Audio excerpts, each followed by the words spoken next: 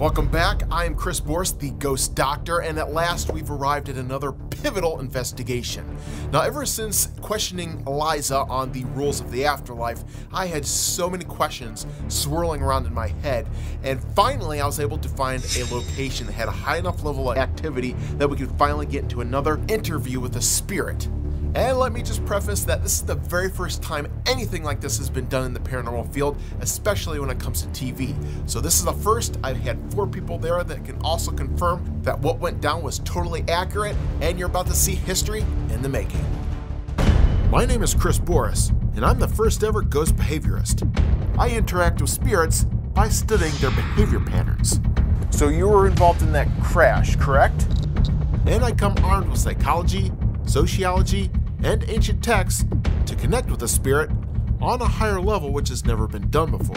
Oh, I got goosebumps on that one. That. With these new skill sets, I can talk with them, Did you die in this room? interview them, and really get into their psyche, He wants to kill somebody. which in turn helps me to diagnose them. Hauntings in this world are on the rise, and it's because these bigger issues are at play. I'm here to counsel the dead and help empower the homeowners they haunt. Ooh, you're right here, aren't you? The next level of ghost hunting is here because the ghost doctor is in. Tonight, my travels bring me to the Collingwood Art Center in Toledo, Ohio. And this facility has a ton of paranormal activity happening here late at night. This ranges from reports of shadow people, strange footsteps walking down the hallways, and even a young girl hanging around the bathroom area. Tonight, I'll be venturing inside this massive building with my investigation team in tow. Hopefully, with a little luck on my side, I'll be able to get into another conversation with a spirit here. After all the lights are turned off and starting my investigation, little do I realize that I am moments away from actually meeting a spirit that dwells here.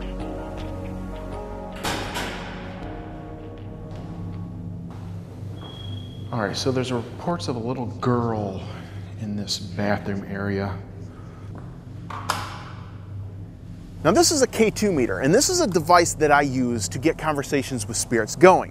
When spirits are around, this thing will light up like crazy, giving me a chance to communicate with them. Caroline, are you in here? Did that just go off? Yeah. Caroline, can you touch that again for me, please? Ho ho ho. Are you a little girl?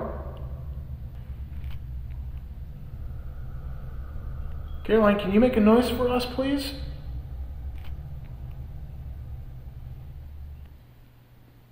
Would you like it if I brought a toy in here?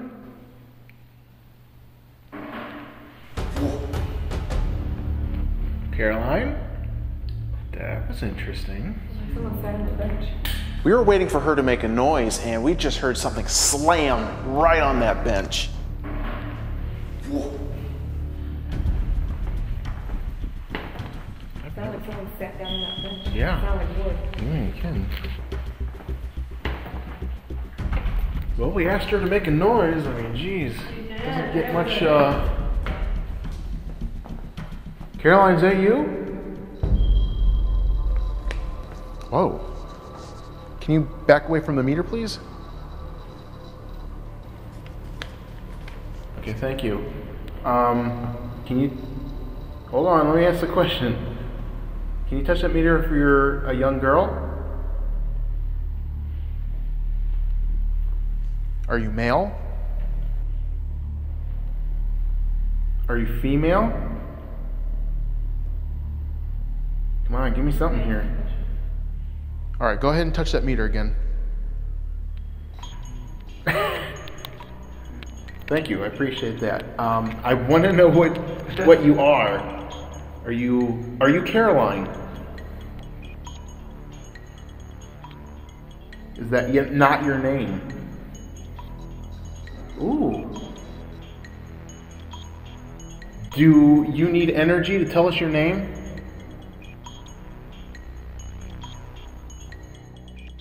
Are you, are you male?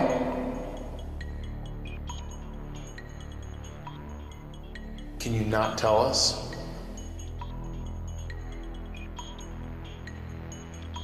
Okay, can you light those lights up for me?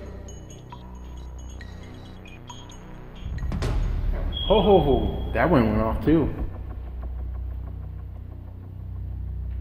Are there more than one of you in this area? Spike a meter. Is there just one of you?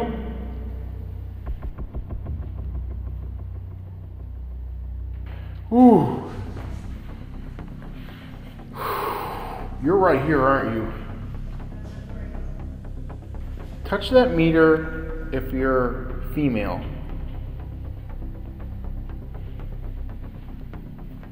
Touch that meter if you don't know what you are.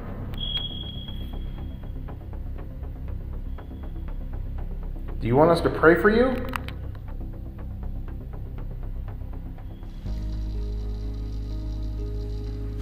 Yes. Do you need help moving on? No. Are you stuck where you are? Yes. Was it because of something you did while you were alive? Is it hard for you to give me your name? Did that one just go off? Do you want us to leave?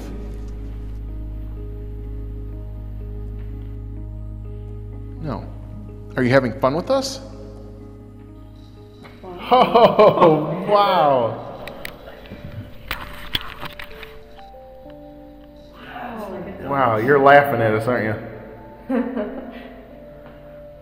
Talk about incredible. To get into another interview with a spirit at another location was amazing. And you could tell by just looking at the spikes that there was an actual intelligence behind this. And this is kind of why I was getting repetitive in my question asking at this point to show that we aren't getting conflicting answers here. The meter is spiking at all the right times. Do you miss the residents at this uh, facility here? No? Do you like having the place to yourself?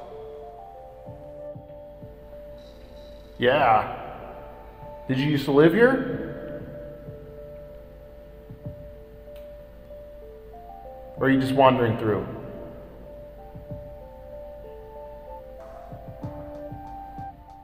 Have you been here a long time?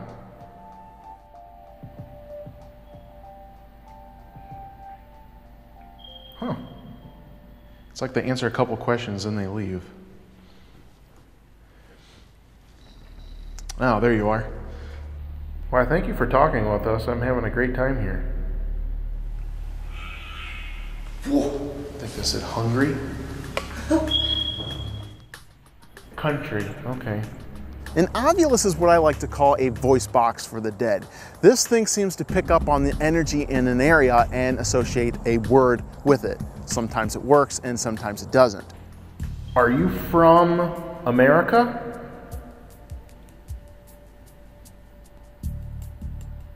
Are you from a different country?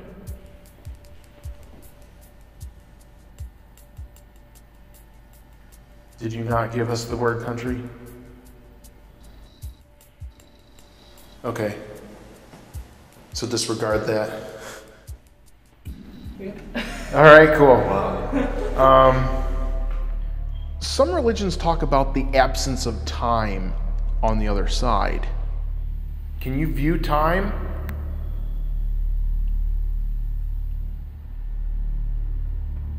Or are you stuck here like we are, basically? Yeah. Wow. Can you hear music where you are that we can't? Do you not hear music? Like angelic music? Okay, so you don't. Interesting. Are there areas of the physical realm that you can access that we can't? Because in the Egyptian Book of the Dead, it talks about uh, once you pass over, you then have access to places that people in the living state do not have access to. Is that correct?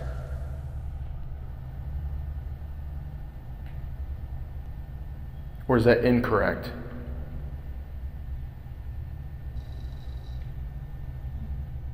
So that would mean, oh God, I'm lost in my own semantics here. Are you having fun? Oh, good. I'm glad to be of service, I guess. So we had a great conversation up until this point with me throwing a lot of softball questions. So now I thought since we had a certain level of comfort established, I think it's now time to shift gears and throw some harder questions at her and see what happens now. Do you get frustrated that sometimes people can't hear you talk? Oh, yeah, okay. Yeah, I would get mad too, or frustrated. Are there certain uh, terms that I'm using that you don't understand?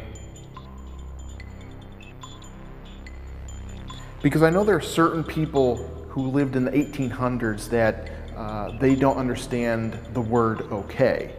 Do you understand what the word okay means?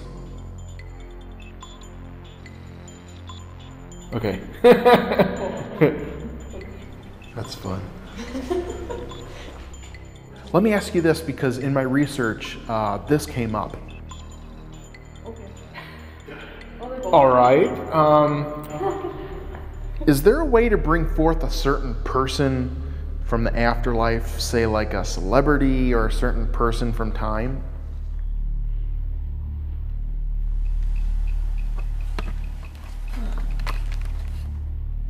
So you're not afraid to move on, right? Just so I know.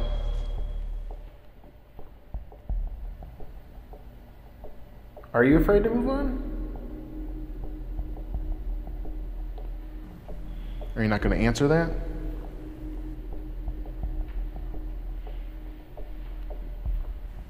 Because there are rules, right? Yes, I'm well aware of that. So here we go again. Rules to the afterlife. It is confirmed every spirit I've ever asked on this subject will confirm that yes, they do exist and they have to follow them. So you're not afraid to move on, right? Just so I know. This is yet another question that they are not allowed to answer. Amazing. Is there somebody policing the afterlife? Or are these things, are these rules of the afterlife something that you just know once you cross over?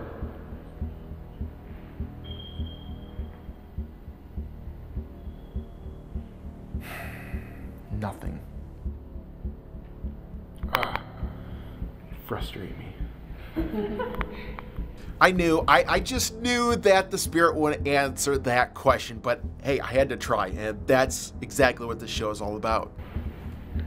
All right, let me ask you this. Are you not allowed to move things if a camera is on the object? Can a camera be on if you want to move that object? Is that possible?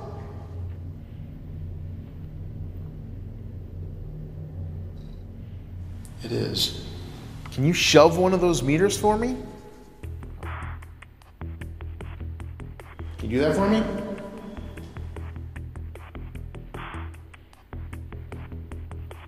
Are you having a hard time moving that?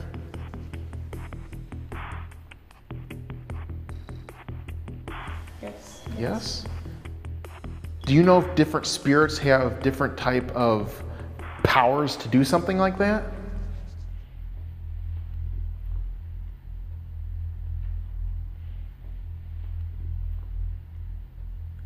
Are there different skill levels that spirits have? Like in martial arts, there's different tiers.